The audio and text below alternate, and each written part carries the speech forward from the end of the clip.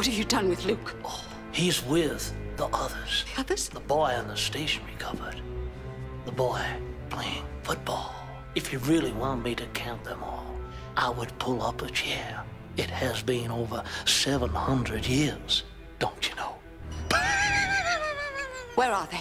Somewhere between this world and another. They are sleeping. I don't want to harm them. I don't need to. All of them? They're fine. Well, after a while, they just fade away. Bring them back. Bring them back now. Oh. I can't do that. Can you imagine a bogeyman that brings children back from Never, Never Land? Who would be scared of me then?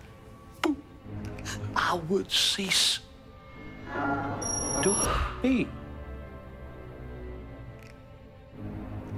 And if you don't exist anymore, all the harm you've done is reversed. The children you've taken will be returned, at least the ones taken from here. Luke! But you cannot destroy me, Miss Smith. No one can destroy fear. It is part of you all. I am part of you all. How do you fight fear? Well, what can we do? I'll tell you what you can do. Now, if you're so concerned for your son, let me take you to join him. I'm sure your disappearance in time will give me much nourishment. All right, Mr. Spellman. Listen to this. Two aerials got married. You should have seen the reception. Clyde! Another child?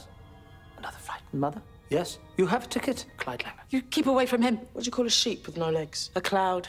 Police station toilet stolen. The cops have nothing to go on. What do you call a fish with no eyes? A, psh, a magician. He's driving down the road and he turns into his house. What is this? Come on, folks. How about a little bit of audience participation? What's invisible and smells like carrots? Rabbit farts. thank you, thank you. Where would you find a one-legged dog? Where you left him? hey, what's this? She's nicking my material. Stop this. Stop it now. What's wrong, Mr. Spellman? Does the sound of laughter upset you? Does it frighten you? You will fear me! it's getting weaker.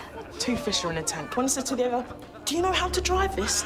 An optician tells a guy he's colorblind. Well, that's a bolt out of the green. How did Count Dracula escape from Transylvania? He used a blood vessel.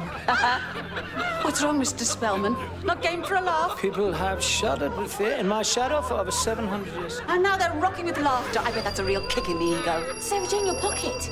I went to the dentist. He said, say R. I said, why? He said, my dog's dead. Of course. That's it.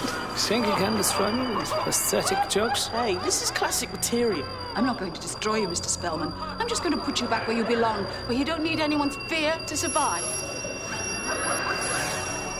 No! This is where you belong. The meteor that brought you to Earth. You've always been attached to it, but you were strong enough to resist its pull. But not anymore, Mr. Spellman. The nightmare is over.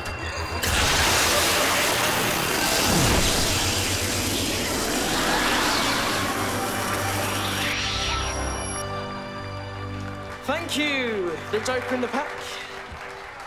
Every alien busting team should have one. That was good thinking, Clyde. well, it was Rani's idea. yeah, but I told him to be funny. Mum. Oh, look, look, look, you're all right. what happened? Where's Spellman? Well, I imagine you could say he's finally paid the piper.